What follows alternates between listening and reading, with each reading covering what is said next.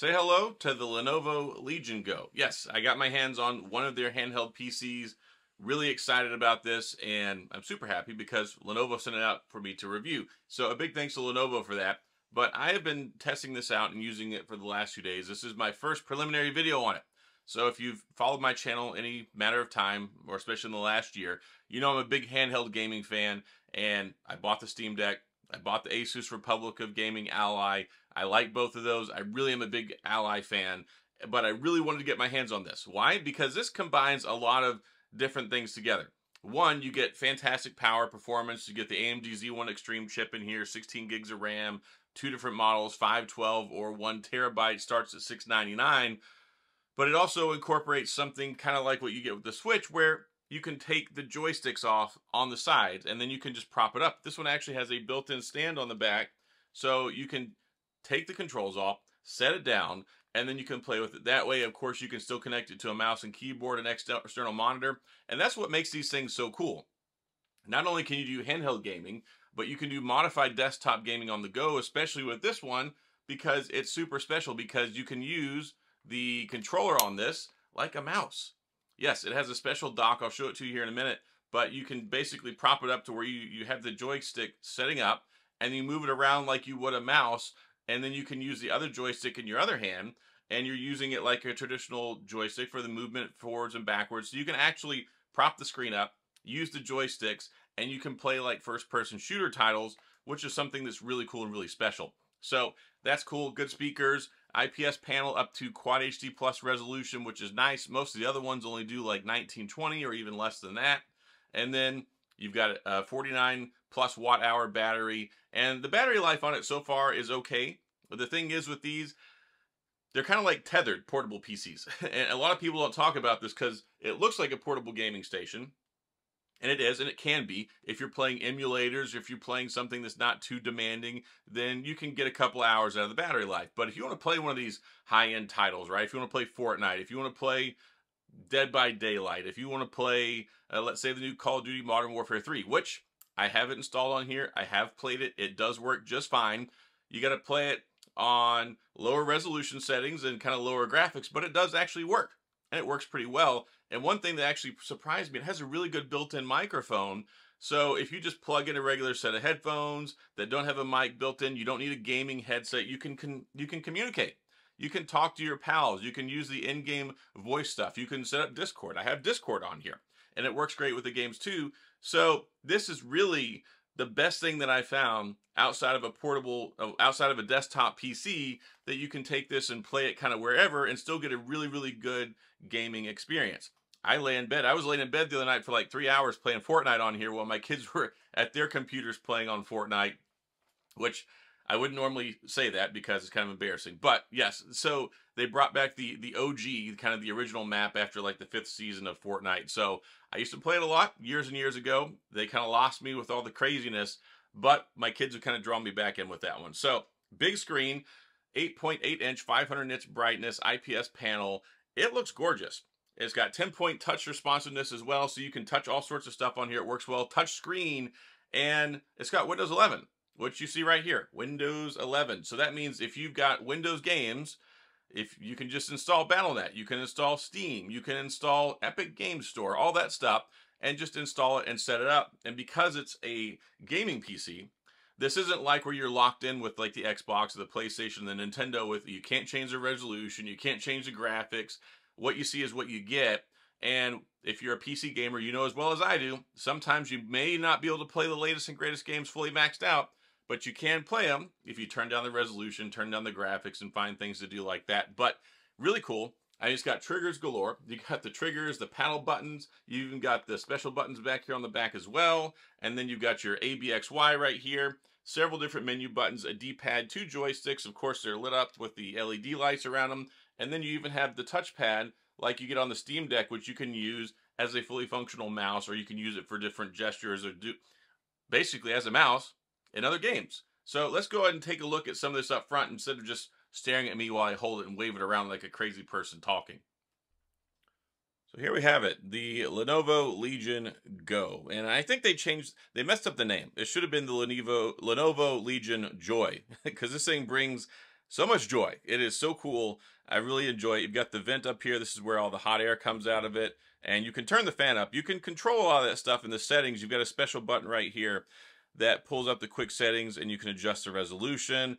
The refresh rate goes up to 144 hertz, which is really nice. Different lighting effects, console key mapping, Wi-Fi, Bluetooth. You can adjust the brightness and the sound here.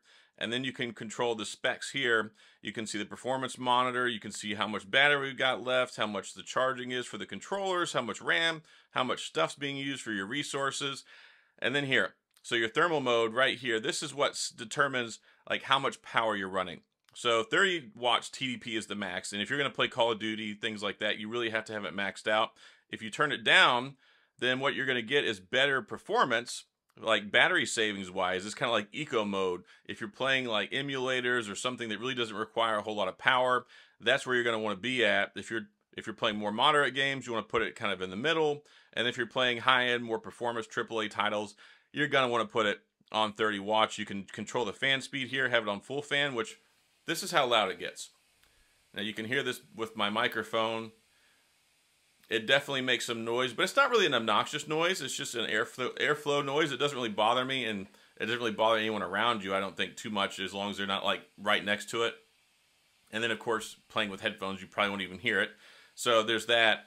But you can change all these different power modes, and then you can go into productivity mode. Set external display uh, as primary if you want to connect it to a monitor and stuff. And that's one thing that's really, really, really cool with all this is you can actually connect a mouse and a keyboard with it and then set it up and use it that way as an actual portable desktop on the go. So that's really cool. And then this is the case that it comes with. So let me get a little bit more height here. So this is the case that it comes with. Nice rugged case, very similar to all the other ones. You got the Lenovo Legion branding here uh, on the little, on the little tabs. And then this right here is the base that you connect it to to use it as a mouse. So like I said, you can pop this off, which flip this over here. So you push down on the button and then you pop it off. And the one on the right is the one that's a mouse, but it's got the mouse buttons on here and stuff. So it's not just a joystick, it's also basically a vertical mouse, which is really, really interesting. I have never seen anything like this in my life. So we'll prop this up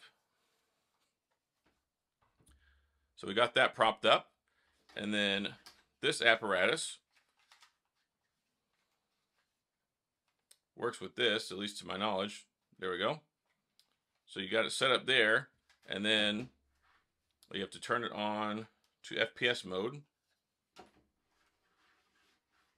And then if, maybe you can see this. There we go. Look, ta-da. It actually works as a mouse. And that is really cool. Now, I don't know how precise this is. I haven't tested it out yet. Uh, I'm really looking forward to testing it out with, like, let's say Valorant or something else. And this is really important because some games require you to use a mouse and, and not just joysticks, not just emulation compatible stuff. You have to use a mouse. So the fact that you can set this up and use it as a mouse, and then let's go ahead and detach this one over here. See if I can do this without looking. There we go. So then what you do is you hold on to this and you use the left joystick, and this is for your forward, back, left, and right, and then you've got the mouse over here, and this is how you do it. And I'm really excited about this. I can't wait to test it out on some of the different games. But yeah, th this works really well. Like I said, I've been playing Fortnite on here. I've been playing Call of Duty Modern Warfare 3. And so I'll go ahead and I'll fire up a game so we can take a look at this. Uh, I will go ahead and show you Cuphead so you can see some gameplay real quick. This is one of the most frustrating games probably in the history of mankind. Of course, I've beaten it, and I've beaten the DLC as well. But it's a really fun run and gun action platformer game that requires like an immense amount of skill uh, and having some hair left on your head because you'll probably want to rip it all out whenever you play it. But this is a this is a really interesting game that requires a lot of coordination and things like that. But overall, like I, have played this one. I played it on the Steam Deck. I played it on the ROG Ally. I played it on the Switch. I played it on the PC. It's just a it's a fun one that if you like some of these old school uh, platforming games, we kind of like this is like an extreme version of Mario where you run around and uh, you shoot stuff, you get different abilities, and you got to try and beat all these little bosses. Uh, it's a lot of fun. It's something it's something special that I really wish we had more games like this, but I wanted to be able to show something off um, on this on this kind of demonstration for the Lenovo Legion Go. And, and trying to do this and talk at the same time and record, I tell you, is definitely not something uh, that's all that easy. I will say, because this is already a, a difficult game.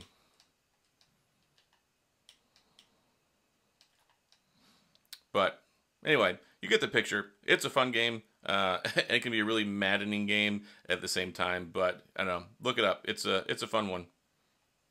So that's pretty much it with my kind of assessment initial review on the Legion Go whenever it comes to this, but I have been a big fan of this. I, as soon as I took it out of the box and fired up, I wanted one. I almost bought one. I was really surprised that Lenovo sent it out because I had talked to them like six weeks ago. I was like, "Hey guys, you want to you want to send one my way?"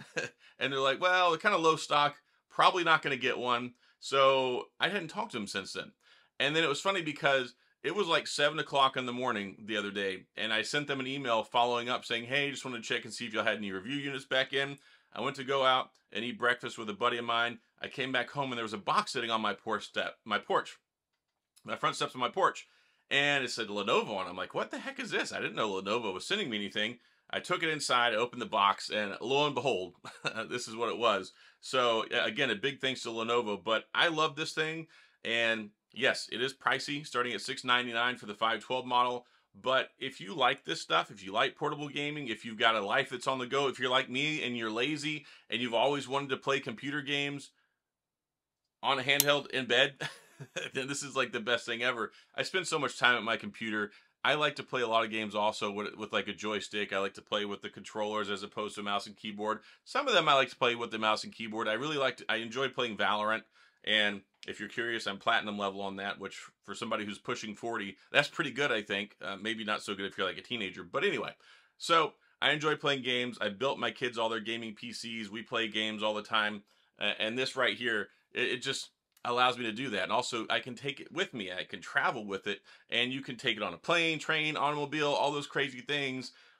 And then internet connections are pretty much everywhere nowadays. So this, I think, is kind of the future of gaming. And it's the future that I've been hoping and wishing for since I was just a little kid, getting my first Game Boy, getting my Game Gear, always wanting an Atari Lynx, getting the Nintendo uh, DS and all that stuff, Game Boy Advance. I have been into this stuff since I was a kid. So this is like a dream come true.